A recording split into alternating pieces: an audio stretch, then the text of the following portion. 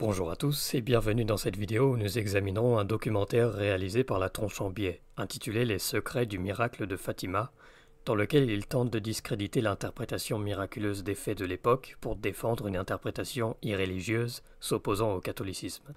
Avant de commencer, j'aimerais vous inviter à partager cette vidéo un maximum, à aimer et à commenter, etc., parce qu'on s'adresse ici à une grosse communauté particulièrement hostile à la religion. Nous nous attendons à une vague de haine, et ce ne sera pas possible d'y répondre si seulement quelques catholiques s'impliquent dans la discussion. Disons d'abord que la vidéo prend pour acquis que vous connaissez au moins l'affaire de Fatima dans ses grandes lignes. Nous n'allons pas la rappeler ici. Ensuite, notez que la vidéo portera longtemps sur les bases que la biais expose dans leur documentaire, avant de vraiment discuter du miracle de Fatima, dont ils ne parlent vraiment qu'au bout de 31 minutes de vidéo.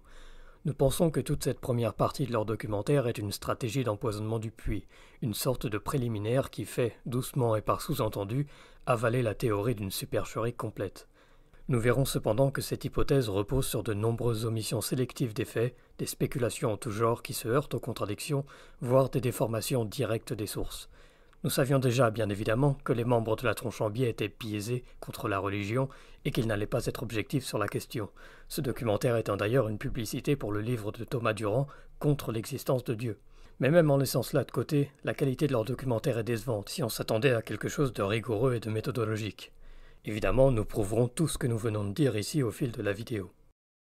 Notons aussi qu'à travers le documentaire, les membres de la tronche en biais utilisent de nombreuses phrases assez nébuleuses, avec des sous-entendus manifestes, sans dire exactement où ils veulent en venir, et sans exprimer clairement quelles sont leurs raisons d'avancer tel ou tel détail plutôt que d'autres. C'est peut-être pour ne pas se prononcer fermement et risquer de se faire reprendre. Quoi qu'il en soit, il n'est pas facile de discerner s'il y a un argument derrière qu'ils n'auraient pas formulé, je répondrai donc souvent à ce que la vidéo laisse honnêtement penser ou semble réellement suggérer, sans pour autant prétendre que c'est ce qu'ils ont strictement voulu dire, car ce n'est pas toujours évident. Je précise cela d'emblée pour éviter qu'on m'accuse de répondre à des hommes de paille que l'on aurait volontairement fabriqués. Excusez-moi d'avance si leur vidéo est parfois ambiguë et ou mal comprise. Si la tronche en biais nie tenir des propositions qui seront réfutées ici, cela sera une concession tacite qu'ils sont d'accord sur ces points avec nous et nous passerons à autre chose. Cette vidéo de réponse sera peut-être aussi l'opportunité pour eux, bien que je ne sache pas si c'est déjà arrivé auparavant, de reconnaître leurs approximations ou leurs erreurs en toute bonne foi. On verra bien ce qui se passe. Je n'ai jamais vu un militant zététicien athée admettre publiquement avoir eu tort et se corriger explicitement, et cela serait peut-être plus miraculeux qu'une apparition de la Vierge. Commençons à présent notre exposé. Le documentaire commence directement par une définition incorrecte, bien que populaire, de la foi. À 2.44, on nous dit que beaucoup de croyants admettent que la foi est subjective et n'envisagent pas que Dieu ait approuvé quoi que ce soit. Beaucoup de croyants admettent que la foi est subjective, qu'elle relève d'une sensibilité face à l'inexpliqué et n'envisagent pas que Dieu ait approuvé quoi que ce soit. Nous nions totalement cette définition, dans la droite lignée de l'enseignement catholique sur le sujet. Nous trouvons même étonnant qu'il ne soit pas partie de la définition catholique de la foi, vu qu'il s'agit d'un miracle catholique. Contrairement à ce préjugé, la foi n'est pas une simple croyance subjective, arbitraire, sous-entendu, irrationnelle. Nous passerons un peu de temps sur ce court passage de la vidéo, car il permet d'expliquer tout le reste des conclusions de la tronche en biais. Ils partent du principe que l'explication religieuse d'un miracle n'est pas rationnelle, et donc que seule l'hypothèse naturaliste offre une explication rationnelle. C'est un postulat purement philosophique et qui reste entièrement à démontrer. Cette fausse définition de la foi est courante dans les milieux athées et elle est notamment utilisée par le célèbre militant athée Dawkins, qui nous disait qu'avoir la foi, c'est croire sans preuve. Or, depuis le début du christianisme, ce n'est pas l'usage qui était fait du terme. Michael Jones le démontre dans sa vidéo Is Faith Blind, en réfutant les versets avancés pour justifier cette fausse définition. Le terme grec utilisé dans le Nouveau Testament pour désigner la foi renvoie plutôt à la loyauté, ou à la confiance, ou à l'assurance en quelque chose ou quelqu'un et dans le contexte du Nouveau Testament, cette foi était justifiée par des preuves que Dieu donnait aux chrétiens, par les faits qu'ils observaient, qui étaient autant de raisons de croire ce que révélait Jésus, c'est-à-dire que la foi ne se substituait jamais aux preuves, mais s'appuyait sur ces dernières. Le terme de foi était utilisé comme un synonyme de confiance. Pour donner des exemples, la confiance en la vérité d'un fait en vertu des éléments à notre disposition, c'est concrètement ce qu'offre la science empirique, bien que ces preuves, rappelons-le, ne produisent pas de vérité irréfutable, mais plus ou moins probable ou certaine. C'est néanmoins une confiance tout à fait légitime. La confiance en quelqu'un, elle, est semblable à celle que l'on peut faire au jugement de la communauté scientifique, parce qu'il y a de bonnes raisons de faire confiance en ce qu'elle dit, bien que contrairement à Dieu, elle ne soit pas vue comme une autorité infaillible. C'est à ce type de confiance auquel renvoyait le terme de foi à l'origine. La confiance qu'on peut avoir en la véracité d'un fait, en une personne ou en une autorité, confiance justifiée par de bonnes raisons. La foi n'est donc pas irrationnelle, mais justifiée par des raisons rationnelles, et c'est une différence fondamentale qu'on ne peut pas rater dès le début d'une vidéo critiquant la foi. Le philosophe Edward Feather, pour n'en nommer a exposé dans un de ses livres les raisonnements qui ont mené la tradition chrétienne à considérer les miracles comme des faits historiques qui pouvaient être établis par des arguments rationnels. Cette conclusion suit bien sûr d'autres prémices tenues comme établies, comme l'existence de Dieu et son autorité fiable quand il révèle une vérité, conclusion également vue comme démontrable démontrée par des arguments logiques et rationnels, tels que ceux fournis par la théologie naturelle. Que vous soyez convaincu par ces arguments ou non, le fait est que l'Église chrétienne n'a jamais fondé la vérité de sa foi sur une démarche subjective et sentimentale. C'est tout simplement un mensonge. Et se baser sur un stéréotype populaire pour attaquer la foi n'est pas sérieux même s'il y a des croyants mal informés à ce sujet. Si on se réfère à la foi catholique, qui est celle attaquée ici, alors on doit mentionner qu'elle condamne officiellement le fidéisme. Et le fidéisme, c'est justement l'idée que la foi en Dieu ne repose pas sur des faits, mais sur un sentiment personnel et subjectif. Vu que cette définition de la foi est contraire à l'enseignement catholique, et est même condamnée par l'Église catholique, il est absurde de l'utiliser pour commencer la vidéo. Pour ce qui est du terme preuve, soulignons aussi qu'une preuve peut ne pas être de nature empirique, contrairement aux préjugés scientistes qu'on entend souvent chez les naturalistes. Une démonstration logique, un témoignage, une conclusion métaphysique sont différents éléments de preuve dans bien des domaines comme l'histoire ou les mathématiques. Parler de preuve strictement comme d'une observation empirique ou expérimentale, ce serait commettre un abus de langage, car le mot preuve ne se limite pas à cela. Et en parler comme d'une démonstration irréfutable ou incontestable, c'est quelque chose d'antiscientifique. C'est pourquoi si vous n'êtes pas satisfait par les preuves avancées pour le miracle de Fatima, et pensez qu'elles sont contestables ou insuffisantes, c'est bien. Les catholiques ont aussi le droit de ne pas y croire, mais ça n'en fait pas moins ce qu'on appelle des preuves, ou des éléments le rendant probable. En résumé, que vous niez a priori les phénomènes surnaturels ou non, que vous soyez convaincu par les preuves avancées ou non en faveur de l'existence de Dieu, de l'historicité de la résurrection, etc., vous ne pouvez pas affirmer que la foi catholique est en principe adoptée subjectivement et sans aucune recherche de preuves objectives et rationnelles. C'est tout simplement un mensonge, une caricature faite par des athées qui ne peuvent pas imaginer qu'on puisse rationnellement embrasser la révélation. C'est une erreur fondamentale qui semble malheureusement guider le reste de leur vidéo, même s'ils ne la formulent pas telle qu'elle. À partir de 11 minutes, la Tronchambier nous explique qu'en matière de surnaturel, un témoignage n'est pas une preuve, après avoir critiqué les ovnis et en nous énumérant toutes sortes de témoignages de faits surnaturels qu'ils prennent, sans argumenter, comme des faussetés évidentes. En matière de surnaturel ou de paranormal, un témoignage n'est pas une preuve sans quoi serait prouvée la télépathie, mais aussi la vie après la mort, la divination par le tarot, la communication avec les ancêtres, les déambulations du Getty ou du monstre du Loch Ness, l'origine ancestrale des impossibles pierres d'Ika, le pouvoir mystérieux des crânes de cristal, les effets de la prière sur la santé, les vertus anti-cancer d'une cure quotidienne d'urine, le complot reptilien cachant au peuple l'immense trou du pôle Nord permettant d'entrer à l'intérieur de notre planète Creuse, etc. Rien n'est plus facile que de juger totalement absurdes et idiotes ces histoires. Pointons d'abord du doigt le sophisme assez évident. Accepter un témoignage comme crédible ne revient pas à dire que tous les témoignages sont crédibles, par conséquent. Donc non, accepter le témoignage d'un fait surnaturel n'est pas accepter toutes ces choses comme si c'était obligatoire. Si on suivait cette logique, dire qu'un témoin dit vrai, ce serait dire que tous les témoins disent vrai, un sophisme par association. La vérité, c'est que chaque témoignage doit être analysé au cas par cas, en son contexte, et non pas rejeté juste par a priori idéologique. Il n'y a aucune raison de rejeter la preuve par le témoignage seulement quand il s'agit de faits surnaturels la tronche en biais tombe dans un biais naturaliste, pas une méthodologie objective, puisqu'un axiome qui dit qu'un témoignage ne peut être une preuve si le fait est surnaturel reste entièrement à prouver. En ce qui me concerne, je ne nierai pas qu'il y ait de la rationalité dans le fait de croire au témoignage d'OVNI, juste parce que cela pourrait modifier ma vision du monde. Je ne vois pas pourquoi on devrait rejeter l'explication ufologique comme si c'était évident que c'était faux. Après tout, le gouvernement américain prend le sujet assez au sérieux pour dépenser des millions de dollars afin de les étudier. Je préviens d'avance, je ne défendrai pas les théories sur les ovnis ici, ni dans cette vidéo, ni plus tard. Je veux juste souligner qu'il se contente de citer des exemples qui nécessiteraient une vraie réfutation et pas simplement juste des hypothèses alternatives relativement probables, pour nous dire que ces témoignages ne valent rien et s'en moquer. C'est extrêmement faible comme argumentaire. Aussi, dire qu'il y a d'autres hypothèses naturelles possibles, ce n'est pas réfuter un témoignage insolite, ou dire qu'il n'y a pas de preuves pour l'appuyer. N'importe qui peut inventer des hypothèses alternatives à longueur de journée. La possibilité d'une hypothèse alternative ne prouve pas en soi qu'une autre hypothèse soit fausse ou irrationnelle. Je ne pense pas que ce soit vraiment l'erreur adoptée par la Tronchambier.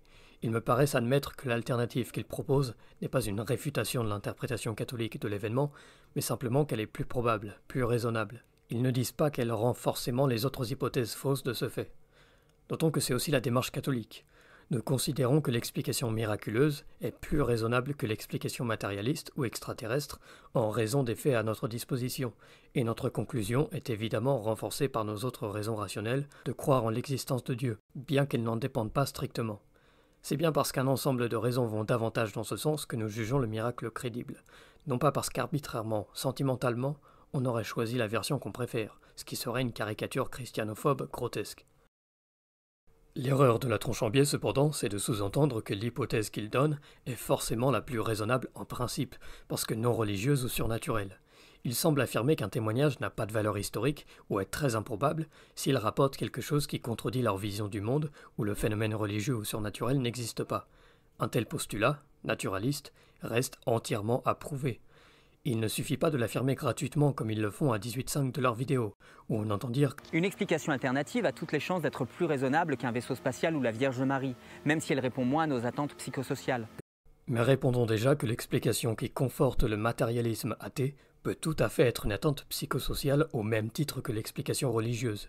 Ils font peut-être allusion à des processus psychologiques vécus par les témoins du miracle, ce dont nous reparlerons plus tard. Retenons juste pour le moment que le biais de confirmation naturaliste et matérialiste existe, et que faire priorité aux hypothèses qui y correspondent, c'est reposer sur un présupposé qu'il faut prouver si on prétend vouloir juger de ce qui est raisonnable ou plus probable par nature. Leur raisonnement rappelle en fait l'argument obsolète du célèbre philosophe David Hume, qui disait que les miracles ne pouvaient jamais être admis en principe. Son argument consistait à dire qu'un miracle était une violation des lois de la nature, quelque chose qui n'a jamais été observé auparavant, et puisque selon lui l'expérience uniforme prouve solidement les lois de la nature, alors le miracle, qui est par définition contraire à ces lois, est impossible à accepter, car l'expérience uniforme du contraire sera toujours plus crédible et plus probable. En outre, il ajoutait qu'un miracle ne pourrait être accepté que si l'hypothèse d'une invention manigancée était plus miraculeuse, c'est-à-dire moins probable, que le miracle lui-même. Une telle épistémologie est fondamentalement biaisée pour plusieurs raisons.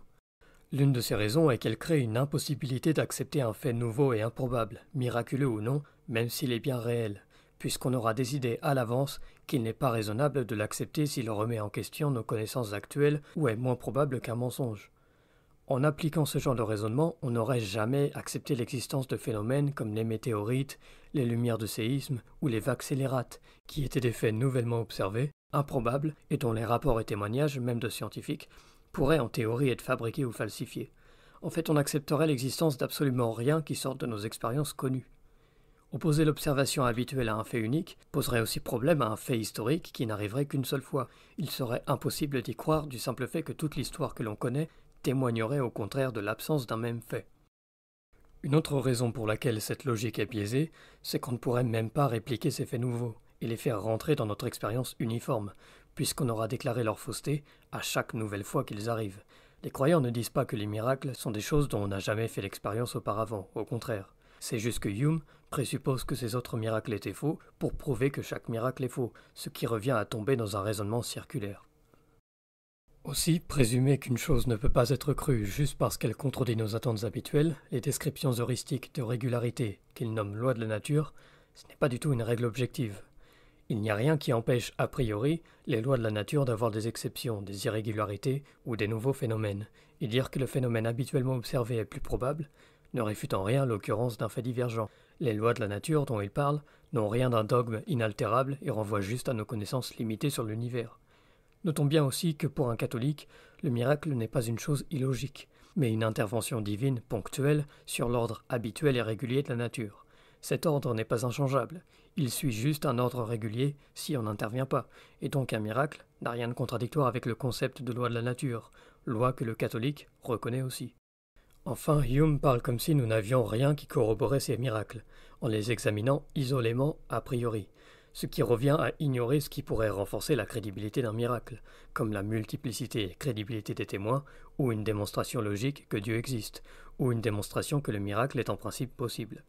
Par exemple, si on admet que Dieu existe, il peut aisément faire un miracle, et donc le miracle n'est pas improbable du tout. Intrinsèquement, il n'y a rien dans le miracle qui indique qu'il est improbable. Il faut un contexte. C'est là qu'entre en jeu un présupposé philosophique, faussement neutre, qui est naturaliste, et nie d'emblée l'existence du surnaturel. Ce présupposé est largement contestable. Nous laisserons en description des ressources qui décortiquent Hume plus en détail. Nous ignorons si la tronche en biais a adopté son argument, mais en tout cas leur démarche est manifestement proche. Ce que nous enseigne l'erreur de Hume, c'est qu'imposer un postulat à un témoignage insolite est une erreur épistémologique qui ralentirait notre progrès dans la connaissance du monde. Il ne s'agit pas de dire qu'il faut croire aux témoignages sans réfléchir ou sans les confronter à d'autres faits, mais que le témoignage peut véritablement apporter une connaissance nouvelle et donc ne peut pas être rejeté selon un postulat a priori. Il faut évaluer les faits avancés sans a priori idéologique, ou en tout cas en tendant vers la neutralité et en étant critique de nos axiomes pour juger s'il est plus probable ou non que le témoignage soit mensonger. Donc quand la tranche en biais laisse penser qu'on doit préférer, par défaut, l'hypothèse qui correspond à leur conception non religieuse du monde, c'est déjà une erreur épistémologique basique. Si l'hypothèse qui conforte nos postulats devait systématiquement être acceptée, jamais nous n'accepterions de faits qui remettent nos postulats en question, puisqu'ils seraient toujours moins plausibles du simple fait qu'ils sortent de nos habitudes. Un sceptique biaisé pourrait, face à un événement réel mais nouveau, spéculer à l'infini sur des hypothèses alternatives conformes à sa vision du monde, y compris celle d'un mensonge et d'une falsification, plus connue, plus commune, et donc toujours plus probable que n'importe quel fait divergent. Et cela est vrai même si ces faits nouveaux sont réels. C'est pourquoi c'est un principe qui freine la connaissance, nous ferme aux connaissances nouvelles et qui remet en question nos théories en vigueur. Nous pourrions presque dire qu'un tel principe est obscurantiste. En conclusion de cette partie, si on ne présume pas d'emblée les biais épistémologiques naturalistes, matérialistes ou antithéistes, alors une explication miraculeuse n'est pas moins raisonnable du simple fait d'être religieuse. Imposer ces biais cognitifs nous empêcherait d'examiner objectivement les faits, les témoignages et leur crédibilité relative. Au moment de mentionner l'apparition de la salette, on nous parle de faits soulevés par des prêtres à l'époque, qui selon la tronche en biais seraient systématiquement mis de côté. Bien que cela soit systématiquement mis de côté, l'histoire de la salette a fini par se régler au tribunal, Répondons d'abord que l'on retrouve les critiques sceptiques de la part des clercs, au contraire, systématiquement mentionnés dans les œuvres qui retracent l'histoire des révélations. Les critiques sceptiques de la part du clergé catholique lui-même sont bel et bien prises en compte et non mises de côté. Notons aussi que ce passage de la vidéo ne va pas dans leur sens. Au contraire, ces scepticismes mettent en évidence le fait que, contrairement à la définition incorrecte de la foi présentée en début du documentaire, la foi catholique n'est pas une affaire de sentimentalité subjective. Les miracles reconnus comme crédibles font bien l'objet de critiques, d'analyses et de disputes systématiques et bel et bien rationnelles. Ces critiques sont publiées par des religieux, et donc, le préjugé ambiant dans l'antithéisme, qui consiste à dire que les catholiques croient en ces apparitions par simple désir subjectif, est réfuté par ces faits mêmes. En ce qui concerne le procès en particulier lié à la salette, qui est, nous dit-on, mis de côté, c'est tout simplement parce que c'est une affaire mineure, peu importante pour l'affaire et extrêmement peu crédible. Montrons ce que la biais a elle aussi mis de côté dans leur vidéo. Il soulève le fait que deux prêtres, les pères d'Éléon et Cartelier, accusaient à l'époque une femme, Madame la Merlière, de s'être fait passer pour la Sainte Vierge, en se déguisant avec un vêtement atypique et en allant jusque dans une montagne occupée par des bergers pour égarer des enfants. La tronche reprend le fait que le tribunal de Grenoble n'ait pas retenu sa poursuite en diffamation, en jugeant que ce n'était pas une attaque visant à nuire sa réputation, que leur interprétation des éléments qu'ils avançaient pouvait être faite de bonne foi, et qu'ils ne lui avaient pas porté de préjudice nécessitant des dommagements. Soulignons d'abord un point important. Ces sentences ne portent pas sur la véracité de l'accusation contre la merlière ou des témoignages avancés, car la justice n'a pas jugé nécessaire de mener une enquête. Elle n'a donc pas vérifié si tel ou tel élément était vrai dans l'absolu. Donc la tranche dit un mensonge en nous disant que l'histoire de la salette s'est réglée au tribunal. C'est juste faux. Il s'agissait uniquement pour la cour de Grenoble de rejeter l'idée que ces deux pères avaient l'intention de diffamer Madame la Merlière et qu'ils lui devaient donc réparation. Le fait que la justice, qui n'est pas un tribunal d'historiens, n'ait pas voulu condamner ces théories comme une diffamation ne change donc rien, car ce tribunal ne s'est pas prononcé sur la question de savoir si la Merlière avait vraiment fait une telle chose ou non. Ce que la tronche laisse penser, c'est qu'une telle hypothèse est très crédible, mais on peut lire dans leurs propres sources toutes les raisons de penser le contraire. En vérité, le documentaire met de côté Le fait que dans le livre qu'il cite, l'avocat Jules Favre démontrait en long et en large que cette accusation reposait sur des rumeurs mensongères et que la théorie était même impossible, notamment en soulevant le fait que elle n'habitait ni ne fréquentait les lieux concernés, qui étaient à plusieurs dizaines d'heures et impraticables pour la femme soixantenaire, particulièrement sans se faire voir, et l'allégation d'un chalet voisin qu'elle habiterait était notamment une fausseté. La soi-disant annonce de sa mission costumée qu'elle aurait confessée publiquement ne tient pas la route car ce sera contradictoire si son but était de duper les gens, et surtout parce qu'elle habitait particulièrement loin des lieux et aurait forcément été remarquée, elle et son déguisement, au long du chemin par les paysans en activité. Ses proches confirment en plus qu'elle était loin des lieux le jour de l'apparition. Les auteurs de l'accusation se contredisent en plus sur des points fondamentaux. Ils disaient d'abord que les enfants n'avaient rien vu, puis plus tard qu'ils avaient vu Madame la Merlière, ce qui implique qu'on est dans l'ordre de la spéculation. Parmi les pseudo-témoignages de ces auteurs, notamment qui parlaient de costumes ou des soi-disant aveux de la part de la femme, des témoins eux-mêmes ont fermement démenti, la seule preuve de couture d'une tenue spéciale étant bien postérieure aux supposés événements, ce qui nuit sérieusement à la crédibilité de ces allégations. Il y a énormément d'éléments qui sont mentionnés et démontrent que cette accusation est extrêmement peu crédible. Nous n'allons pas toutes les couvrir, car la tronche n'en a parlé qu'une seule minute. Nous invitons plutôt leur communauté à se méfier de ce qu'ils disent et à consulter le livre de Sabatier en question, parce que la tronche en biais sélectionne clairement les détails qui l'arrangent. Et comment la tronche en biais peut oser nous dire que l'allégation d'un costume infondé correspond exactement à la façon dont les enfants décrivirent la Sainte Vierge? Les témoignages des enfants ne décrivent pas juste une femme ordinaire avec des symboles liés à la passion, mais une femme qui littéralement brillait et était entourée d'une auréole, et qui disparaissait miraculeusement. Pour expliquer cela, il faudrait en plus empiler des spéculations et des hypothèses ad hoc, sans preuve, pour nous dire que les enfants ont affabulé ou fabriqué un faux souvenir de cette dame, des spéculations qu'on pourrait faire pour n'importe quel vrai témoignage. La tronche en biais cite aussi une lettre présumément écrite par la Merlière, mais elle n'indique rien dans ce sens, car dans cette même lettre elle rejette les calomnies sur ce sujet. Qu'une ancienne moniale se sente investie d'une mission d'évangéliser, ça n'a rien de choquant, et n'importe quel religieux pourrait faire cette affirmation. Bien plus, cela renforce l'idée qu'elle était dévouée au catholicisme, et donc que jamais elle ne se ferait passer pour la Sainte Vierge en la sachant réelle. Ce serait totalement absurde. Quant aux clones, c'est-à-dire les enfants qui eux aussi auraient vu la Vierge dans le coin, ils reposent sur les mêmes rumeurs douteuses des pères Téléon et Cartelier. Ils sont invérifiables, et ce n'est pas faute de pouvoir donner la parole à ces enfants, tant les attaques publiques fusaient à l'époque. La rumeur citée dans le livre décrit que certains de ces enfants n'auraient pas été pris au sérieux et priés par leurs prêtres de cesser leurs prétentions, sous peine de ne pas recevoir leur première communion. Il n'y a bien sûr ici aucun complot institutionnel pour les faire taire, sauf si c'est le sous-entendu du narrateur. Ce serait de la fantaisie pure et dure, car on voit clairement qu'il ne s'agit que d'une punition individuelle, d'une affaire locale, qui n'a aucune intervention officielle. En plus, l'Église n'aurait rien à gagner à leur couper la parole, car cela ne changerait rien au statut de la première apparition, et renforcerait même sa crédibilité si les témoignages se multipliaient. Le problème de toute façon, c'est que ces clones n'ont probablement jamais existé. Ils sont sûrement là pour prétendre que la merlière aurait simulé des apparitions à plusieurs endroits, faute de pouvoir prouver qu'elle l'ait vraiment fait à la salette. En résumé, ce n'est pas une hypothèse alternative plus raisonnable. C'est une théorie du complot vraiment trop fragile. C'est important de le mentionner car on dirait que la tronche en biais recourt ici à une calomnie largement contestable du simple fait qu'elle colle davantage à leur attente. Ils feraient donc exactement ce dont ils accusent les croyants. Ils se servent d'une vieille accusation infondée, sélectionnée au milieu des disputes, qui a les mêmes relents que les théories du complot qu'ils prétendent ridiculiser, celle-ci est réfutée de façon convaincante dans le livre qu'ils citent, mais peut-être parce qu'elle correspond plus à leur propre postulat idéologique alors il la présente de façon à ce qu'on la prenne comme une bonne explication des apparitions de la salette, et d'ailleurs ne parle que de cela. Si vous ne voyez pas leur biais de confirmation ici, c'est très probablement parce que vous l'avez vous-même adopté et pas assez remis en question.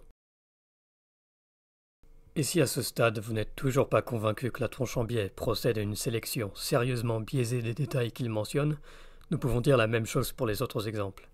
Avec Lourdes, la tronche en biais retombe dans la même démarche, en citant la petite Eugénie III, qui croyait avoir retrouvé la vue au contact de Bernadette, décédant un an plus tard. Ce que la tronche en biais ne dit pas, c'est que Bernadette elle-même ne prétendait guérir personne en contexte. Elle rejetait même cette idée. En vérité, c'est un détail mineur de toute l'histoire des événements de Lourdes, et on nommait d'ailleurs toutes les guérisons attestées plus tard par les mêmes sources, qui penchent plutôt en faveur d'un vrai phénomène surnaturel.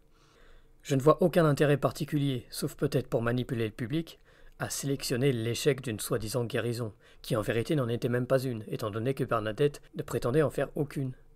Tout semble être raconté par la tronche en biais pour donner à l'audience une impression de supercherie, même si c'est peut-être un biais cognitif involontaire qui a fortement influencé leur description sélective des faits.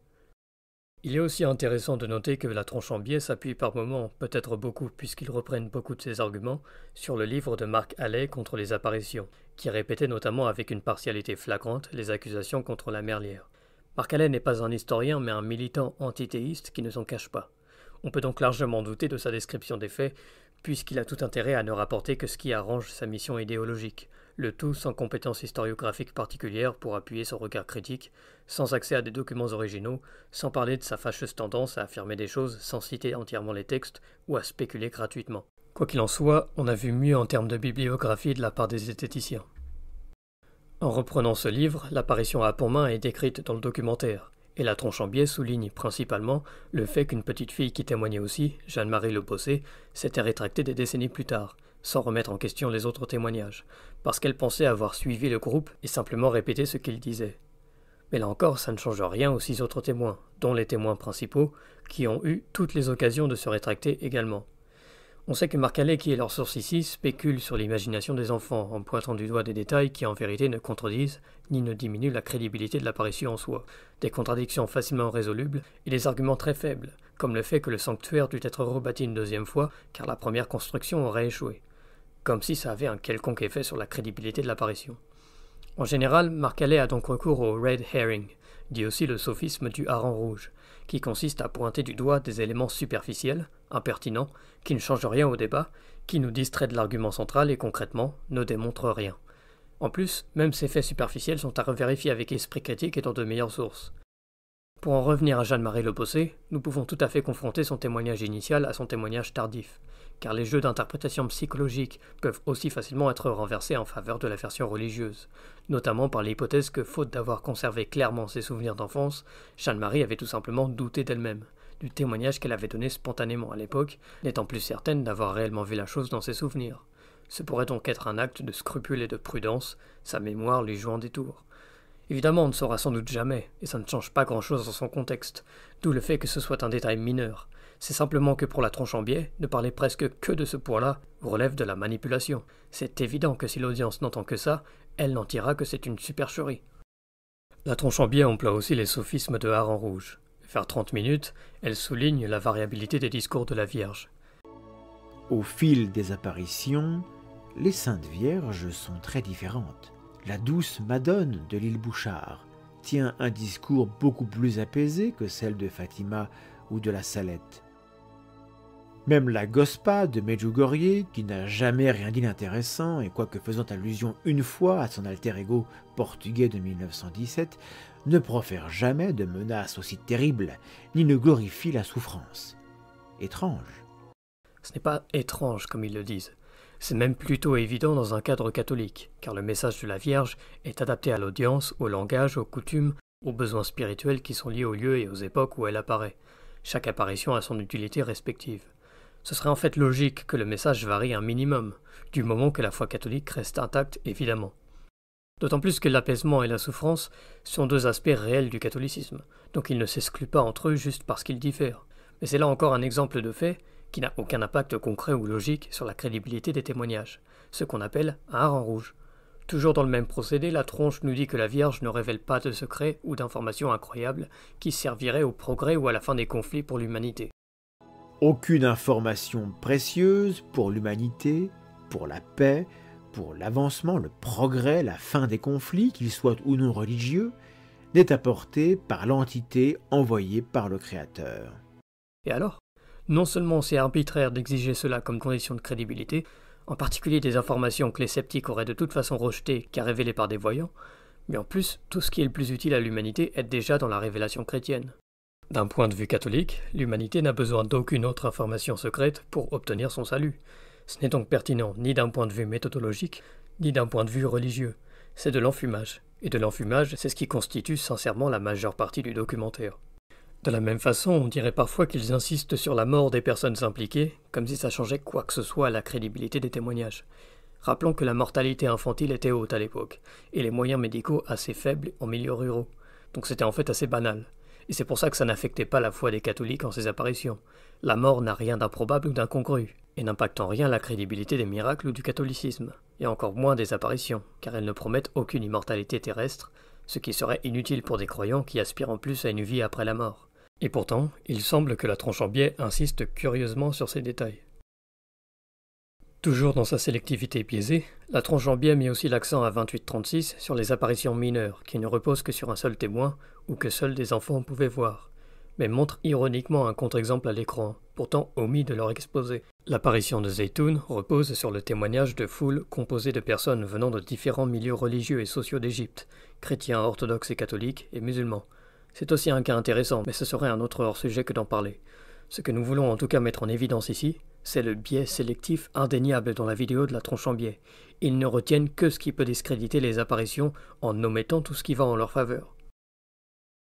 Dans la conclusion du documentaire, ils évoquent le secret révélé par la Vierge, qui disait que la Russie se convertirait si l'Église la consacrait à son cœur immaculé.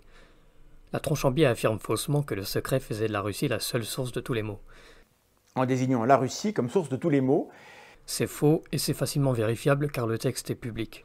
On reproche aussi au secret de ne pas parler du régime nazi, qui sera pourtant largement vaincu avec son idéologie. Thomas Durand nous demande. Qu'est-ce que ça veut dire sur la Vierge? Eh bien rien. C'est encore un sophisme de hareng rouge. Ça n'apporte absolument rien à la question de la véracité des témoignages. De la même façon, la tronche en biais nous présente un présumé échec de la consécration de la Russie.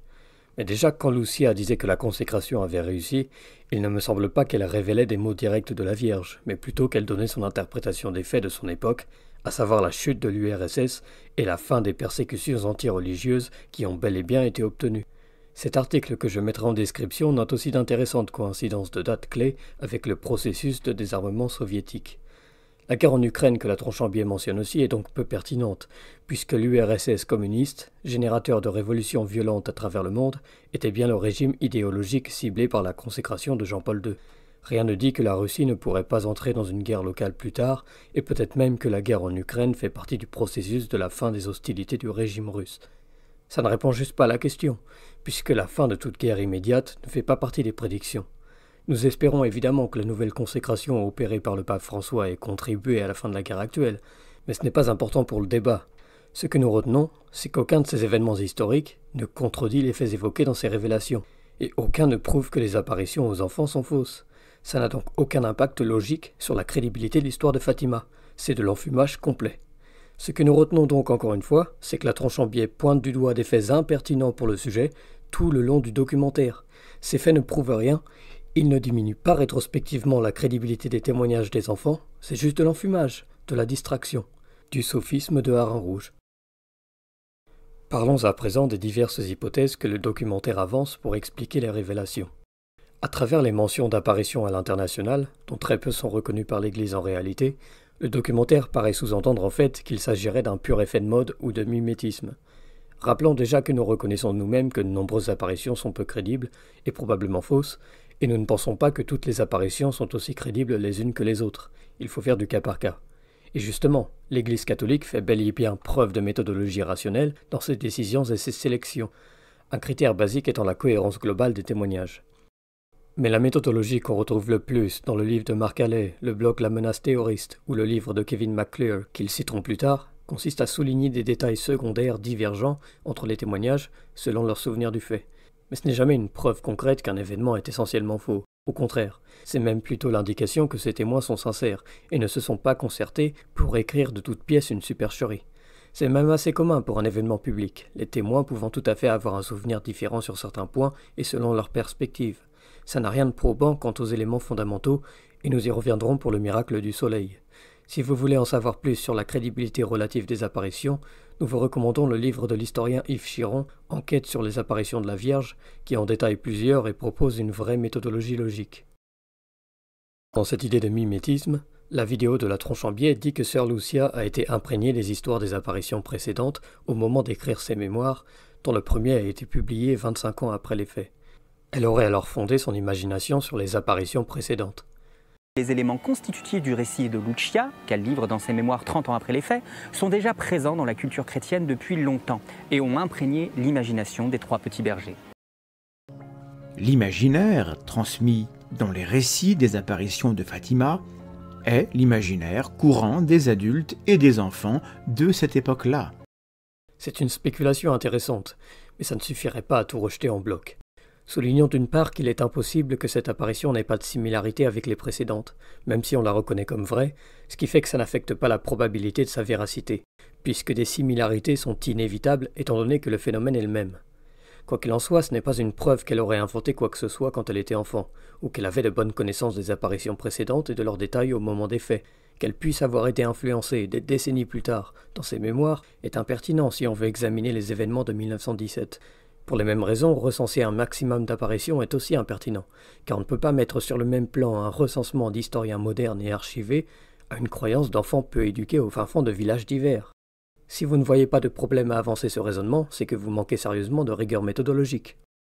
Dans la même documentation critique qu'utilise la tronche en biais, on lit que le clergé lui-même a soulevé cette possibilité dans ses interrogations des enfants, ce qui prouve encore son approche critique et rationnelle. La mère de Lucia répondait à ses interrogateurs avoir déjà lu à sa fille un livre qui parlait, entre autres sujets, de l'histoire de la Salette. Mais Lucia ne lui en a jamais reparlé, ni manifesté d'impression particulière que l'histoire aurait pu avoir sur son esprit. En fait, le témoignage spontané des enfants indique qu'ils étaient en réalité assez ignorants sur ces sujets en général. Toujours dans la documentation, on apprend des interrogatoires individuels et contemporains des enfants qu'ils n'étaient pas au courant de ce qui se disait sur les apparitions de Lourdes auparavant, n'ayant entendu parler ni des histoires de Lourdes, ni de la Salette ou de Notre-Dame de Montserraté, ni lu ou entendu à la maison que Notre-Dame était apparue à des soldats à l'époque. L'hypothèse du mimétisme n'est donc pas la plus raisonnable, mais plutôt moins cohérente avec les faits dont nous disposons.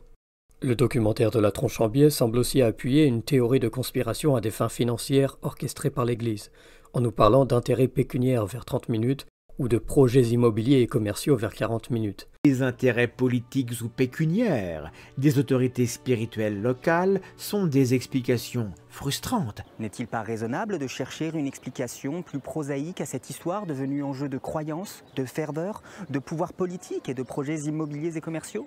On se rattache clairement ici à n'importe quel scénario tant qu'il rassure le postulat irréligieux. Le narrateur, qui ironiquement essaie lui aussi de vendre son livre, rappelait à 28 minutes, d'un ton moqueur, la tolérance que l'Église avait accordée à Médugorier, en raison des fruits de grâce qui pouvaient en être obtenus, c'est-à-dire d'une dévotion catholique renforcée. Étant donné le flux notable de personnes qui se rendent à Medjugorje et les abondants fruits de grâce qui en ont découlé, une telle disposition s'insère dans euh, l'attention pastorale particulière que le Saint-Père a voulu donner à, cette réalité, destinée à favoriser et à promouvoir les bons fruits. Ce sont des biens spirituels, mais il nous semble bien clair que le documentaire en contexte laisse suggérer un scénario selon lequel le but de l'Église serait de faire de l'argent, ou peut-être que c'était une tentative d'humour assez malaisante. Quoi qu'il en soit, il n'y a aucune preuve. En plus, le fait que la grande majorité des apparitions n'ait pas été reconnue par l'Église remet au contraire sérieusement en doute cette théorie du complot, car si l'Église était vraiment attirée par l'appât du gain, elle n'aurait aucun intérêt à se priver d'autant d'apparitions, d'autant plus si elle était vraiment en mesure de fabriquer des récits, d'étouffer des critiques, et si ces apparitions étaient à chaque fois crues bêtement par les catholiques sans aucune analyse rationnelle, comme ils le pensent peut-être. Pour Fatima, rappelons aussi que Sœur Lucia, sa famille ou le prêtre local ne se sont jamais enrichis avec cette affaire. C'est donc une drôle de théorie du complot, romancée et caricaturale que la Tronchambier nous propose là. On entend aussi nos vidéastes dire que l'édification de sanctuaires est très illogique. Mais comprennent-ils au moins quel est l'intérêt des sanctuaires pour les pèlerins? Les croyants financent leur propre lieu de culte avec leur argent pour prier Dieu et s'édifier dans leurs croyances.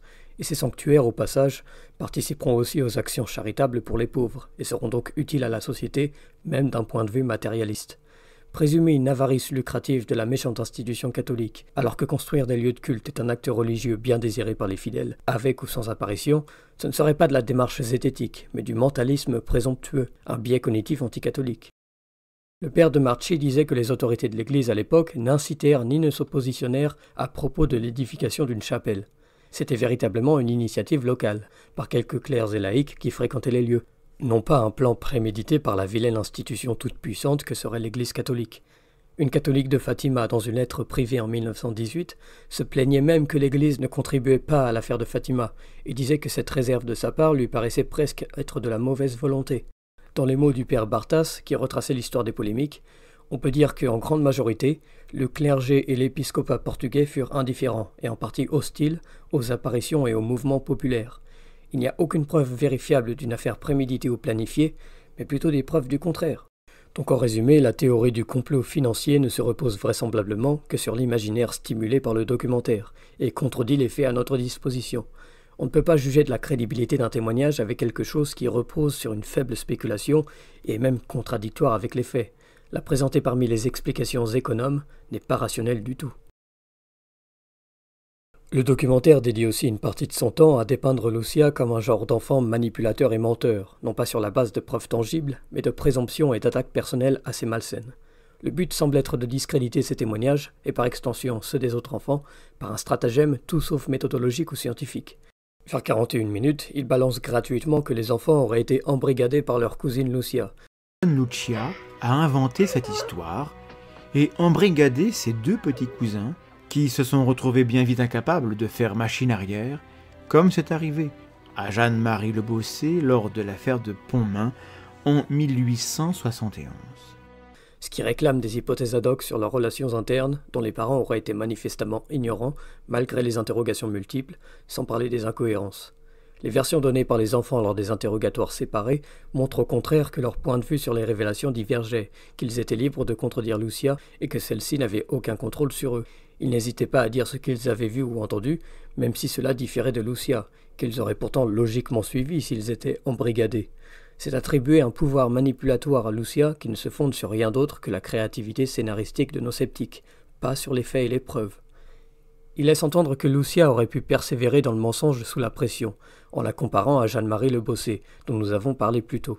Mais cette comparaison est trop fragile, car l'apparition de Pontmain était une apparition unique, avec peu de détails, facile à répéter, pour laquelle Jeanne-Marie n'apportait rien de fondamental.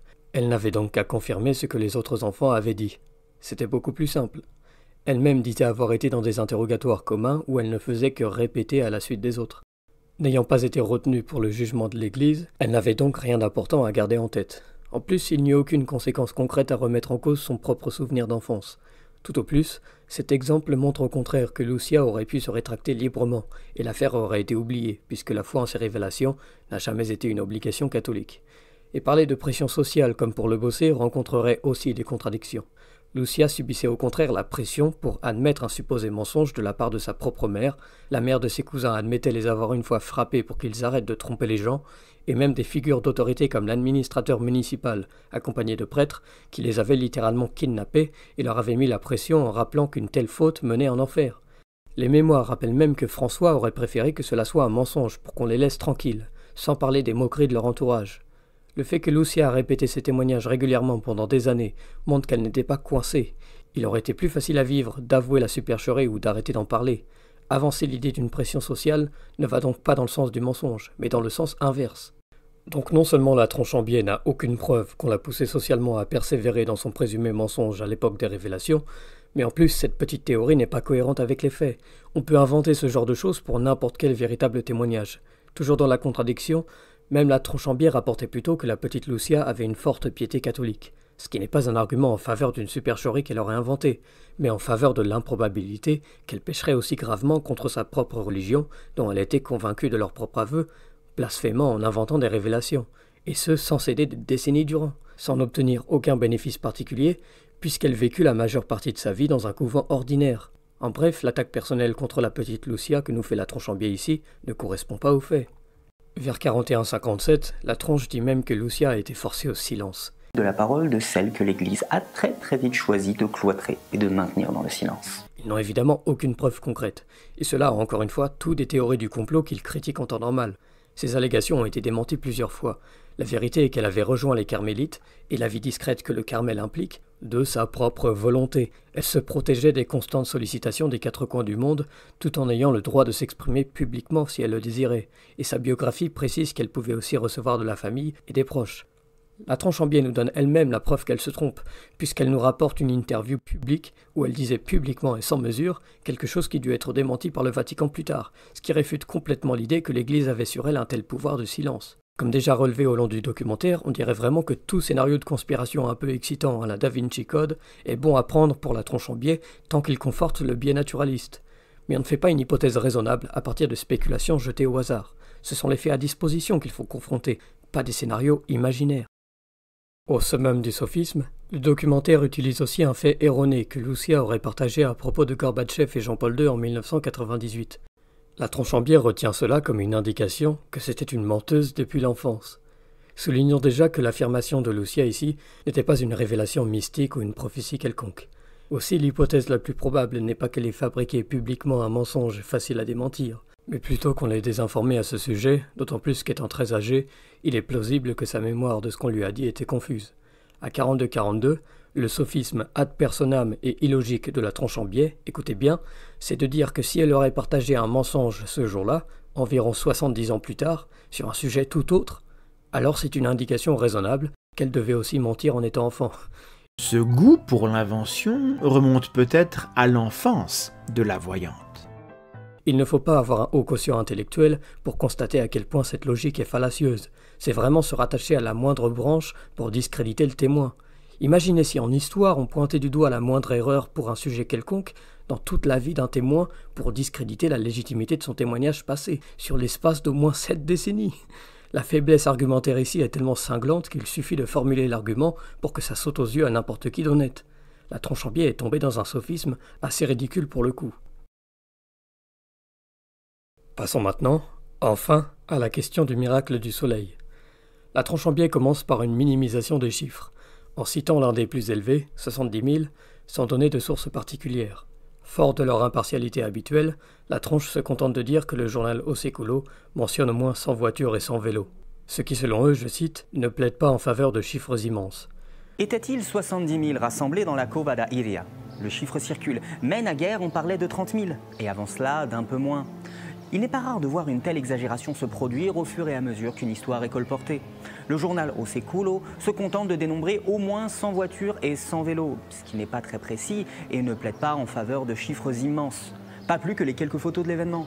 La véracité du nombre n'est pas un détail, elle montre ce à quoi nous avons accès. Ce ne sont pas les faits de 1917. Je suis désolé de dire ça, mais le passage a vraiment tout d'une manipulation malhonnête. Eux-mêmes revendiquaient se baser sur la documentation critique de Fatima, et cette documentation indique bien, dans les sources contemporaines, des dizaines de milliers de gens. Ont-ils au moins fait l'effort de lire la documentation? Pire encore, le journal anticlérical Osekulo dont elle parle ne parlait de voitures et de vélos qu'au moment de décrire la route qui longeait l'endroit, et disait impossible de dénombrer les voitures encombrant la route. Le journal n'estimait donc pas combien de gens étaient présents à l'époque. En fait, dans le même article que la pied devrait avoir pourtant lu, on dit que les gens cultivés sans influence mystique calculaient entre 30 000 et 40 000 personnes présentes, appelées créatures par satire.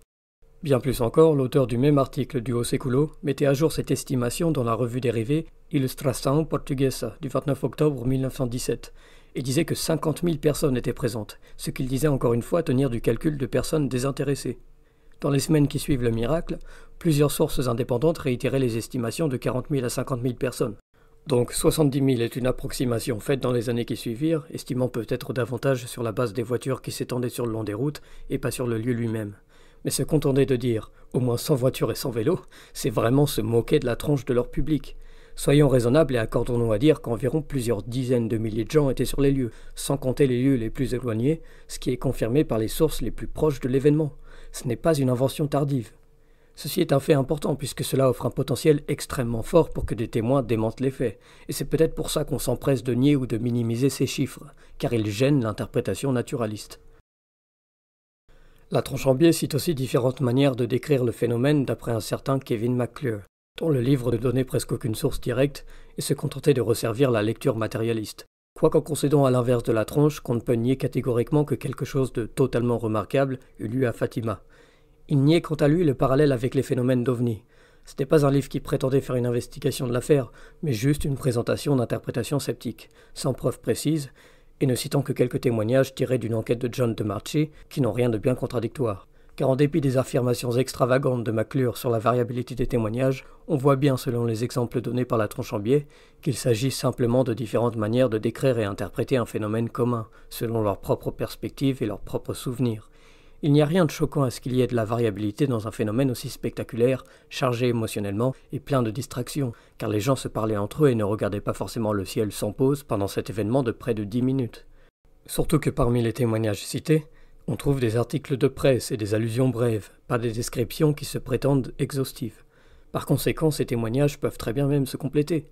Toutes ces choses ont pu réellement arriver au même moment sans que tout ait été retenu également et complètement par chacun. Le fait est cependant que tous affirment avoir vu un phénomène céleste similaire et extraordinaire. En bref, pointer du doigt ces variations revient à faire le sophisme du hareng rouge que nous avions déjà évoqué. La Tronchambier nous dit même que Lucia aurait dit en 1947 au père Maclean, soit 30 ans plus tard, n'avoir rien vu. Mais il est sans doute utile de souligner que parmi ceux qui étaient présents, mais qui n'ont pas observé ce miracle du soleil, se trouve Lucia en personne, qui répondit au père Maclean en 1947 Moi, je n'ai rien vu. Précisons que Lucia n'a pas rien vu. Elle disait ne pas avoir vu le phénomène du soleil dans l'entretien en question, et décrivait plutôt la Sainte Famille, la Vierge et les changements de lumière. Dans la documentation que la tronche citait, les enfants étaient interrogés juste après les faits, et Lucia disait en ces termes avoir vu la Sainte Famille auprès du soleil, brillant, ce qui était aussi rapporté par les autres enfants interrogés séparément. Notez qu'on ne leur avait pas demandé de parler spécifiquement de phénomènes célestes, qu'ils n'avaient pas nié à l'époque. Ce qui s'en rapproche, c'est une question qui leur demandait s'ils avaient vu les taches dans le soleil, à laquelle Lucia répondait qu'elle n'en vit pas, car son regard était porté sur la Vierge. Elle-même expliquait donc à l'époque que son attention était focalisée sur la Vierge et qu'elle ne faisait donc pas attention au soleil, ce qui peut tout à fait expliquer qu'elle n'ait pas vu le reste. Lucia répétait les mêmes choses au fil des interrogatoires, en consistance, et mentionnant un grand resplendissement qui éblouissait la vue. Dans ses mémoires, elle rappelait avoir vu le reflet de la lumière de Notre-Dame se projeter sur le soleil et ajoutait l'avoir disparaître dans l'immensité du firmament. Donc déjà, on ne peut pas juste dire qu'elle n'avait rien vu sans préciser qu'elle parlait seulement de la danse du soleil, c'est vraiment trompeur. De plus, si sa vision est spécifique aux enfants, quoique d'autres témoins dotés de jumelles auraient aussi dit avoir vu la Sainte Famille, elle est complémentaire sans être contradictoire avec les autres, puisque le grand resplendissement, la lumière causée par la Vierge, l'immense firmament de ses souvenirs, peuvent très bien correspondre à ce que la foule a rapporté en ses propres termes. C'est juste les interprétations de cette lumière qui divergent. Notons que ce serait une chose prévisible si quelques témoignages exceptionnels ne se rappelaient pas avoir vu quoi que ce soit. Mais à l'inverse de ce que supposait Kevin McClure, John Affert, interrogeant directement des témoins dans Meet the Witnesses, concluait qu'ils concordaient tous pour dire qu'ils ont bel et bien vu un phénomène extraordinaire dans le ciel, leur variation principale étant liée au fait d'avoir eu peur ou non, ou d'avoir vu peu ou davantage de choses. Affert insiste que dans son enquête en 1960 et dans les témoignages recueillis des 43 années qui la précèdent, que pas un seul ne disait n'avoir rien vu. Notons que Kevin McClure se basait sur le recensement de témoignages par John DeMarchi, qui tirait pourtant la même conclusion que John Affert sur ce consensus. De ce que j'ai pu trouver dans la documentation critique, aucun témoin ne rapportait n'avoir rien vu le 13 octobre.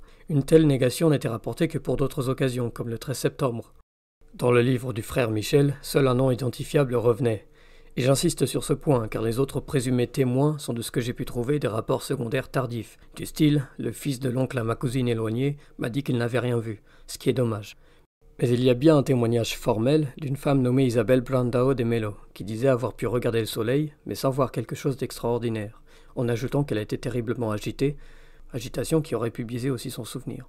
Ce qui est factuel en tout cas, c'est que nous avons affaire à une quasi-unanimité dans les centaines de témoignages formellement donnés, qu'on ne peut pas mettre de côté comme si ça n'était pas pertinent concernant la crédibilité du phénomène.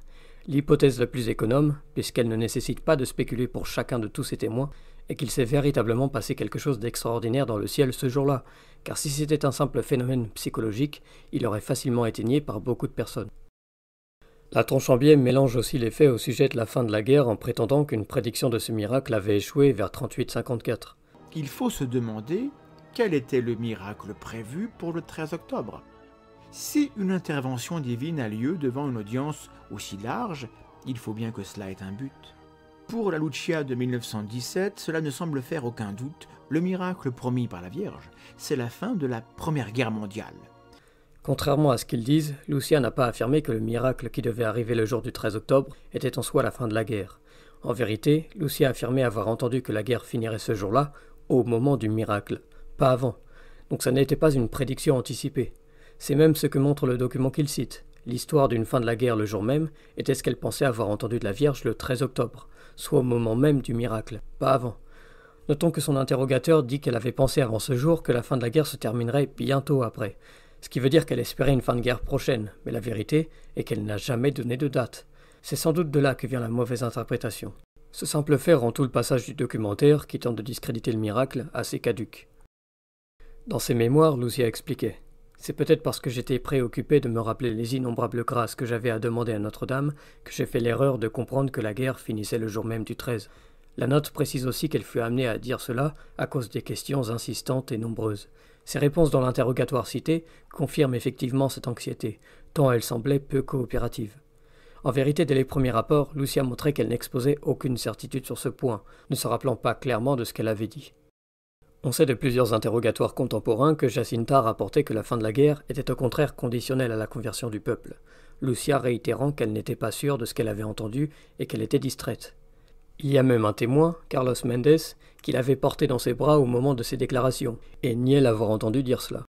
Qu'elle se soit trompée le jour même n'a de toute façon aucun impact sur la véracité du miracle, car elle n'affirmait pas que c'était une prophétie à son propos.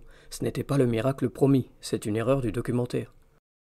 En vérité, ce que Lucia avait prédit pour octobre, dès juillet, c'était un miracle que Notre-Dame réaliserait pour que tous la croient. En septembre, elle prédisait également pour le 13 octobre l'apparition de la Sainte Famille, que les enfants virent, pour la paix et la bénédiction du peuple, sans qu'une fin immédiate ne soit promise. Elle reconfirmait également que Notre-Dame ferait une action pour persuader le peuple qu'elle était réellement apparue. Le jour du miracle, on attendait un signe visible, un signe céleste, comme le mentionne Oséculo, et c'est aussi ce que d'autres témoins de l'événement pensaient. Ce qui est donc sûr, c'est qu'on annonçait un signe, un miracle qui susciterait la foi du peuple en son apparition, auquel correspond bien le phénomène lumineux que les gens ont vu, une fin de la guerre qui n'était pas promise pour le jour même, et une vision de la Sainte Famille n'étaient pas les seules choses annoncées. Il n'y a donc pas de prédiction ratée, contrairement à ce que le documentaire peut laisser penser. En tout cas, il n'est pas juste de passer aussi vite sur l'aspect prophétique en essayant de le détourner de sa pertinence et en inventant de fausses contradictions. Fait que le phénomène en question soit arrivé le jour même où le miracle dont elle parlait était censé arriver, au lieu où Lucia devait se rendre, c'est davantage une preuve en faveur de la perspective religieuse que de la perspective d'un simple mensonge puisque ce genre de phénomène unique est imprévisible, et bien hors du commun comme l'admettait lui-même Kevin McClure. Lucia n'aurait aussi aucun intérêt à faire un pari aussi risqué des mois à l'avance, alors que selon la théorie de conspiration, elle cherchait à manipuler les gens. Enfin, l'improbabilité qu'il soit prédit aussi précisément par le fruit du hasard n'est même pas concevable, tant l'événement sort de nos observations habituelles. L'idée qu'une prédiction réelle se soit accomplie est donc tout à fait raisonnable et économe, en dépit du bien naturaliste. Mais alors, comment expliquer le miracle? Nous ne pensons bien sûr pas que c'était littéralement le Soleil qui bougeait dans l'espace, mais que le phénomène lumineux en avait vraisemblablement l'apparence. Nous ne pensons pas non plus que toute forme de subjectivité soit à écarter, puisque les enfants disaient avoir vu la Vierge, tandis que la plupart des gens désignaient la lumière comme étant le Soleil. Je pense cependant qu'il est bien raisonnable d'affirmer que c'était un phénomène externe aux témoins. Il y a des éléments dans une partie des témoignages qui renvoient à un phénomène physique, comme les vêtements rapidement séchés alors qu'il avait plu, ou certaines guérisons subites rapportées. Mais comme ça n'est pas ce qui est revenu le plus souvent, et parce que les guérisons se sont manifestées sur une longue période et pas seulement à ce moment-là, nous n'en parlerons pas davantage. Discutons d'abord de l'absence de preuves photographiques. Il n'est pas clair qu'on aurait vu quoi que ce soit dans une photo du soleil avec un appareil ordinaire de l'époque. Qu'un phénomène soit réellement apparu ou non, si une lumière excessive était manifestée et non recouverte de nuages comme on le rapporte, ce que cela aurait probablement donné, c'est une image toute blanche et très floue, par manque de contraste et de couleur.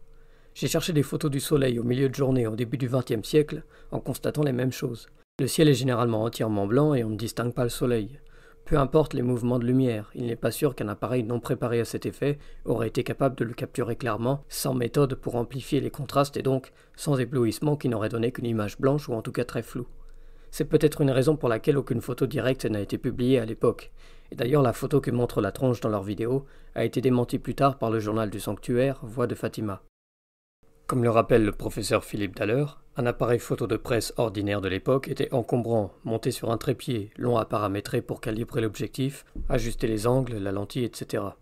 Il est aussi assez évident que personne n'était venu avec un équipement spécial pour faire des manipulations précises, parce qu'il pleuvait, et qu'on n'attendait rien du soleil en particulier, sans parler du risque de les endommager. Néanmoins, l'article tout à l'heure propose une analyse intéressante de la luminosité des photographies en haute résolution et met en évidence ce qui semble être de multiples sources de lumière, l'angle de fixation des témoins présents sur les photos étant incongruent avec l'angle dans lequel le véritable Soleil se trouvait selon les estimations météorologiques et les témoignages. Cela renforce là encore l'idée d'un phénomène physique et non simplement d'une illusion. Nous ne parlerons pas beaucoup des explications météorologiques ici puisque même la tronche en biais concède à 44-33 qu'aucune donnée météorologique n'indique que des conditions anormales étaient réunies le 13 octobre à cet endroit, pour créer un effet d'optique de Parelli. Notons cependant pour les sceptiques qui s'attacheraient désespérément à cette hypothèse que même si de telles conditions étaient là, les descriptions des témoins ne concordent pas avec un effet de parélie, puisqu'ils disaient avoir la vision d'un soleil bougeant rapidement dans le ciel, chutant ou encore tournant comme une roue de feu d'artifice. Aucune image de parélie ne correspond à un tel phénomène à ma connaissance, à moins d'exagérer les termes. Ce n'est donc pas une explication suffisante et cela prend selon moi les témoins pour des idiots, comme si aucun n'avait été capable de distinguer cet effet statique d'un phénomène bien plus impressionnant. Comme le note aussi le professeur Philippe Daller, l'effet de Parélie implique l'impression de plusieurs soleils, et s'estompe peu avant la hauteur où était le soleil à ce moment de la journée, à la Cova de ce qui le rendrait incapable de se produire clairement. L'effet étant arrivé vers le zénith, dans l'après-midi, ce qui écarte une grande partie des effets qu'on allègue. Parler de Parélie ne tient tout simplement pas la route. Les hypothèses qui rapprochent ce miracle avec des effets de vibration solaire n'expliquent pas non plus les grands mouvements, la fixation aisée en plein zénith, et les grandes rotations non plus. Il y a aussi des explications qui portent sur les nuages, ce qui pose déjà un problème, parce que le docteur Garrett, témoin à l'époque, précisait qu'on voyait le soleil clairement, qu'on ne pouvait pas le confondre avec un soleil opaque ou confus derrière un brouillard. Il disait qu'il y avait seulement un cirrus léger n'obscurcissant pas le soleil, et ce même soleil se détachant des nuages à travers les crevasses de ciel bleu. Cela n'a pas empêché qu'on émette l'hypothèse d'un nuage de poussière fine qui expliquerait le soleil aisément regardable, ou qui créerait un effet de rotation. Mais cela n'est encore fondé sur aucune cause vérifiable de nuage à l'époque et sur les lieux, ni appuyé par les photos d'exemples de ce genre de phénomène. Il y a aussi l'hypothèse d'un effet de lentille atmosphérique produisant ces effets de lumière par des cristaux contenus dans les nuages et expliquant la chaleur séchant les habits, ce qui serait une observation sans pareil et comme celle citée avant, extrêmement improbable d'un point de vue météorologique. Notons aussi que les deux peuvent avoir du vrai, puisque Dieu pourrait très bien avoir recours à des éléments physiques de la nature pour produire une vision à un moment prédit. C'était la théorie du prêtre et physicien Stanley Jackie, qui expliquait que réunir autant de facteurs physiques nécessaires pour créer une telle vision dans le ciel serait en soi un miracle, tout particulièrement au jour prédit à cet effet. Il faudrait pour cette théorie des lentilles que des milliers de cristaux en mouvement soient arrangés correctement dans le ciel pour donner un effet convaincant de roue d'artifice ou de chute. Ce serait comme si le vent poussait des grains de sable adéquatement de façon à créer un château de sable c'est clairement une explication en faveur d'une intervention miraculeuse. Et parler d'un biais du survivant pour expliquer la chance qu'aurait eu Lucia dans sa prédiction ne réfuterait rien ici, puisque c'est bien la seule fois que Lucia prédisait un signe miraculeux pour le peuple, et l'ordre de grandeur de l'improbabilité que toutes ces spéculations météorologiques se réunissent ce jour-là est tellement grand et incalculable qu'il dépasserait même largement le nombre de jours comptés dans l'histoire des prédictions humaines, mais c'est une discussion d'un autre jour, réservée aux endurcis, qui de toute façon rejeteraient toute prédiction possible et imaginable. À 44 minutes, la tronche en biais suggère que l'effet visuel puisse être purement psychologique, causé par le simple pouvoir de la suggestion, d'une attente de surnaturel. Lucia peut-être, mais rien n'est moins sûr, a dit Regardez le soleil Les milliers de perdus qui se sont dirigés vers cette source lumineuse étaient en demande criante de surnaturel. Il suffit d'un indice, d'une suggestion, d'une anomalie ou d'une illusion pour créer une perception d'autant plus contagieuse que les premiers à l'éprouver s'empressent de dire aux autres ce qu'ils doivent trouver. Mais cet argument se heurte à plusieurs contradictions. Notons d'une part que la thèse qui revient parfois de l'hystérie collective, voire de l'hallucination collective, repose sur très peu de faits connus, sinon aucun. En cherchant un peu dans les bases de données, je n'ai trouvé aucun article scientifique récent de psychiatrie ou de médecine qui démontre de façon fiable un phénomène visuel aussi impressionnant, fruit de l'imaginaire suggestif, qui soit partagé par des gens de différentes classes sociales et aux croyances et attentes opposées, sans pathologie établie, sans traitement médicamenteux, sans manipulation, etc. Il ne semble pas que ce soit possible dans les limites de nos connaissances. L'hypothèse de l'hallucination suggestive nécessite donc beaucoup trop d'extrapolation et nous semble tout à fait gratuite, compte tenu du peu qui se trouve dans la littérature scientifique. L'idée que le simple pouvoir suggestif soit capable d'une telle prouesse reste aussi entièrement à prouver. À chaque fois qu'on nous donne un exemple d'illusion d'optique suggérée, il n'y a vraiment rien qui a l'ampleur de ce qui a été décrit à Fatima. Il reste aussi entièrement à prouver que ces témoins s'attendaient à un miracle solaire, alors que, comme on l'a vu, il n'était pas spécifiquement prévu que le soleil paraisse bouger ou soit fixable sans douleur. Se contenter de pointer vers le soleil ne saurait pas suffire à créer la même attente chez tous les témoins, c'est bien trop vague. Un problème fondamental est aussi que plusieurs témoins du phénomène n'avaient aucune attente surnaturaliste, puisqu'ils s'opposaient à la véracité de Fatima ou étaient au moins sceptiques. C'est le cas du journaliste Avelino de Almeida, qui a écrit son témoignage pour le journal réputé anticlérical Oseculo. Pour anticiper la mauvaise foi sceptique, soulignons qu'Avellino ne faisait pas que décrire ce que voyaient les autres en parlant du mouvement du soleil. Le texte est bien clair, et il a confirmé avoir vu personnellement ce mouvement du soleil dans Illustração Portuguesa. Avelino de Almeida était donc bien un témoin du même phénomène, et un témoin qui n'avait aucune suggestion surnaturelle. Il connaissait même le mécanisme psychologique, car lui-même accusait les croyants d'être victimes de la suggestion collective avant l'événement. Et ce n'est pas le seul témoin de ce genre. Avelino rapportait aussi que le miracle avait impressionné des libres penseurs et des personnes non préoccupées par la religion. Il ne s'attendait donc véritablement à rien, ce qui contredit clairement l'hypothèse de naïveté psychologique. Le phénomène de suggestion était en vérité connu, et c'est notamment un incrédule des miracles, Léonore de Avelar, qui écartait cette idée lorsqu'il témoignait de l'apparition du 13 août, alors qu'il ne s'attendait lui aussi à rien. Antonio Vieira de Magales, lui aussi sceptique, évoquait même les hypnoses collectives théorisées par Gustave Le Bon, contre lesquelles il s'était prémuni. En effet, même parmi les religieux, il y en avait qui étaient loin de croire en la réalité miraculeuse de Fatima, comme le témoignait Avelino lui-même. Il y avait aussi parmi eux João Machado et Mario Godinho, un ingénieur sceptique de l'époque, qui ne s'attendait à rien et vit quand même les mouvements du soleil depuis sa voiture, ce qu'il confessait avoir eu du mal à s'avouer. Tout porte à croire qu'il s'agissait donc davantage que d'une simple prédisposition interne, puisqu'une telle prédisposition n'était pas du tout partagée également par les témoins. Un autre facteur important à prendre en compte est que d'autres témoins étaient loin des lieux et des foules, et ont eux aussi rapporté avoir vu ces choses, ce qui remet fortement en doute l'idée que ce soit une suggestion quelconque causée par Lucia ou ses pèlerins. Plusieurs témoins disaient en effet avoir vu le phénomène au loin à des dizaines de kilomètres de la Cova d'Aeria. Jean Lafert en a interviewé plusieurs. Le père Lorenzo, enfant à l'époque, disait que lui et ses camarades l'avaient aperçu depuis le village d'Alboritel, décrivant en détail des phénomènes semblables. Afonso Vieira, qui habitait à San Pedro de Muel, à des dizaines de kilomètres de Fatima, l'avait aperçu depuis sa maison avec sa femme et sa belle-mère. Alpanos Barros, un autre enfant berger dans un village près de Minde, le rapportait aussi. Ces témoignages distants sont des preuves indépendantes que le phénomène n'était pas une contagion hystérique collective, psychosociale, mais bien un phénomène palpable l'hypothèse mentale spéculative n'est tout simplement pas applicable, de façon cohérente en tout cas, à une telle diversité de témoins en termes de disposition psychologique. À 44-50, la Tronchambienne nous cite une expérience de Joseph Plateau, qui étudiait le phénomène de la persistance rétinienne, dans laquelle une forte luminosité, dangereuse pour la rétine, laissait une marque sur le champ visuel. Notons qu'il n'y a pas eu besoin de Joseph Plateau pour constater l'effet, qui était déjà connu avant lui. C'est une observation assez banale.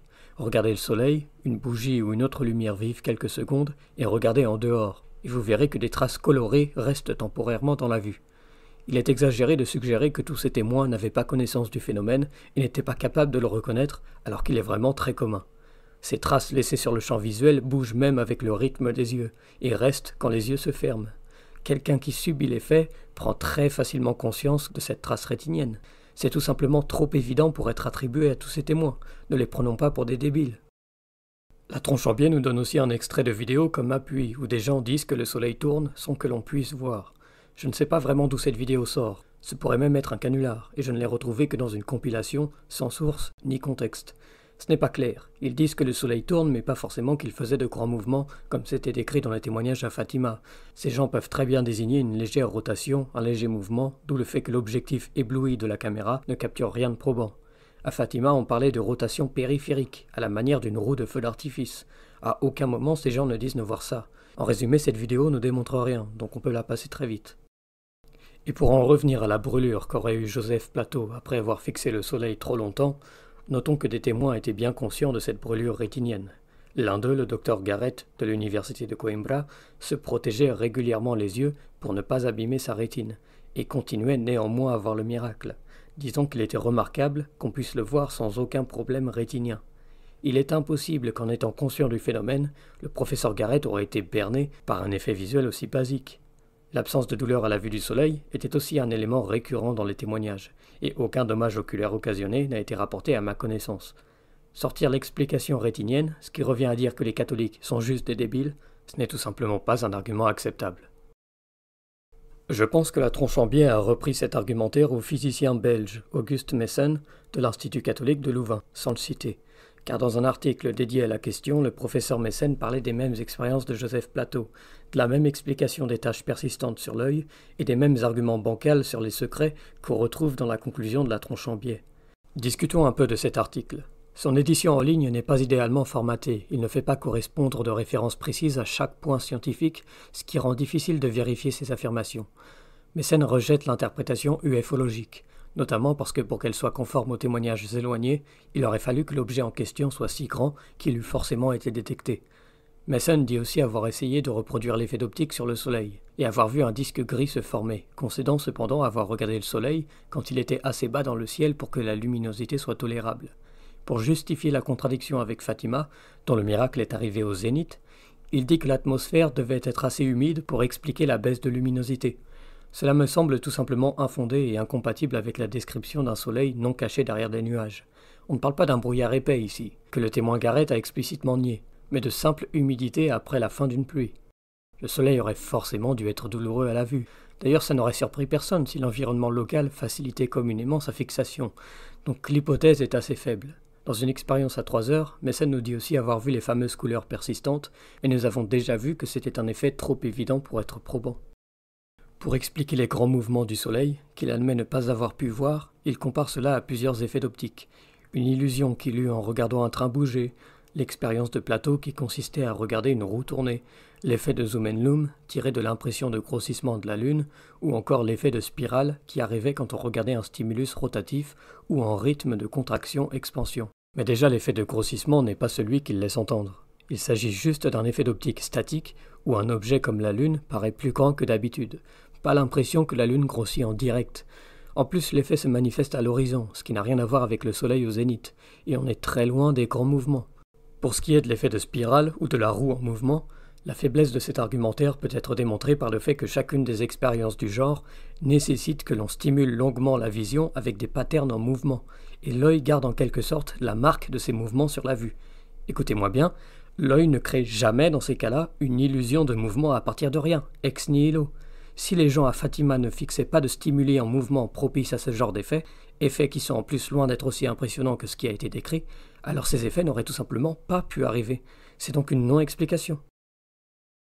Messen évoque aussi une interprétation cérébrale du champ visuel, qui est responsable pour les illusions d'optique, et dit tout simplement que les voyants étaient peut-être beaucoup plus créatifs. La notion de cortex visuel plus créatif est déjà douteuse. Le cerveau peut certes donner un sens à l'information visuelle, on peut le voir avec de classiques exemples, faits pour soutenir l'effet de Gestalt. Et oui, il y a un phénomène d'adaptation des cellules rétiniennes mais ce sont des faits mineurs que les sceptiques tentent de grossir à outrance pour qu'ils correspondent à des conditions imaginaires où l'illusion aurait été telle qu'elle créerait un phénomène incapable d'être reproduit expérimentalement.